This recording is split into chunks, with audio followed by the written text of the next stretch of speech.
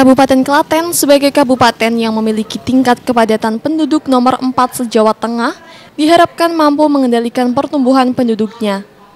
Program KB harus digarap secara serius agar tidak terjadi ledakan penduduk, terlebih saat ini jumlah penduduk Klaten telah mencapai 1,4 juta jiwa. Kampung KB ini adalah salah satu inovasi dalam upaya merealisasikan pelaksanaan kegiatan program KB dan pembangunan keluarga secara utuh dan terintegrasi yang dikelola dan diselenggarakan dari, oleh, dan untuk masyarakat di tingkat dukuh atau desa. Hari ini pencanangan Kampung KB di Desa Bogor, Kecamatan Jawa. Ini merupakan salah satu dari 59 Kampung KB yang ada di Kabupaten Klaten. Kampung KB ini tidak hanya sekedar uh, miniatur dari pengelolaan KP tidak hanya itu, tapi bagaimana kampung KP ini diintegrasikan dengan kegiatan-kegiatan lain.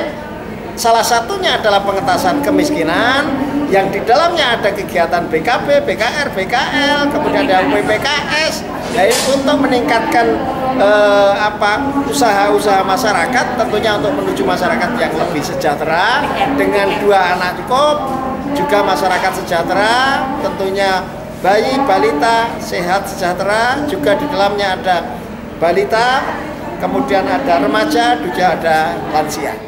Secara umum, tujuan perencanaan Kampung KB adalah untuk meningkatkan kualitas hidup masyarakat di perkampungan melalui program kependudukan keluarga berencana dan pembangunan keluarga, serta pembangunan sektor terkait lainnya dalam rangka mewujudkan keluarga kecil yang berkualitas.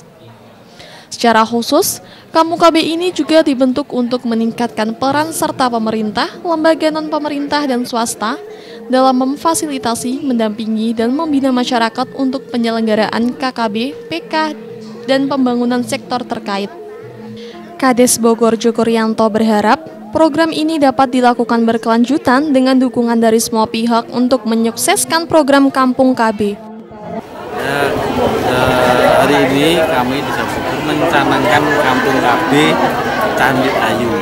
Harapannya apa Pak? Harapan ke depan bisa Bogor bisa mensukseskan program pemerintah kaitannya dengan program KB.